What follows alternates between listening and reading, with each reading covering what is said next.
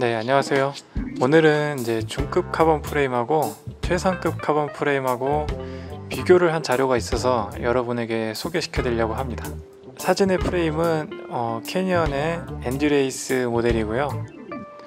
제가 프레임만 따로 구입을 해 가지고 집에서 직접 조립을 했습니다. 그리고 이 프레임은 스페셜라이즈드의 신형 타막이고요. 어, 샵에서 프레임을 구입을 한 다음에 샵에서 조립을 했습니다 프레임 교체하게 된 배경이 이제 프레임 특성 때문에 교체를 해서 어, 데이터를 통해 가지고 얼마나 차이가 있는지 비교를 한번 해보고 싶었습니다.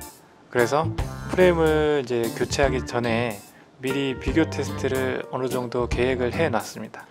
평가가 조금씩 다를 수 있겠지만은 어, 제 기준에서는 이제 중급 카본 프레임하고 최상급 카본 프레임하고 비교 정도라고 생각을 합니다. 그리고 endurance와 이제 all-round의 장르 차이가 있기 때문에 더 큰 차이를 보일 거라고 생각을 했습니다.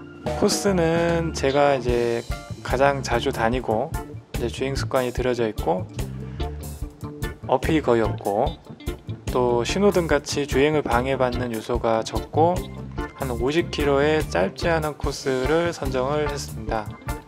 그래서 코스는 이제 안양에서 방화대교 찍고 다시 안양으로 돌아오는 코스가 되겠습니다. 마지막에 어필이 조그만 게 하나 있습니다. 이제 코스를 정해놓고 프레임 교체 전에 열심히 달렸습니다.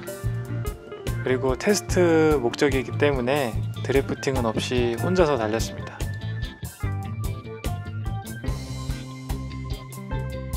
일주일 정도 후에 이제 새로 조립된 자전거로 같은 코스를 다시 달렸습니다. 거의 주행 환경은 동일했고 어, 다른 점은 옷이랑 어, 신밖에를 추가로 착용했다는 정도가 되겠네요.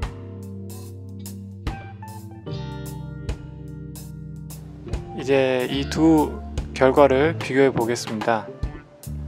다행히도 그 두 날에 날씨하고 온도가 거의 동일했고요. 케이던스와 이제 파워를 보면은 어 거의 동일한 힘을 냈다고 판단되고요. 신기하게도 제주껏 잘 맞춘 것 같아요.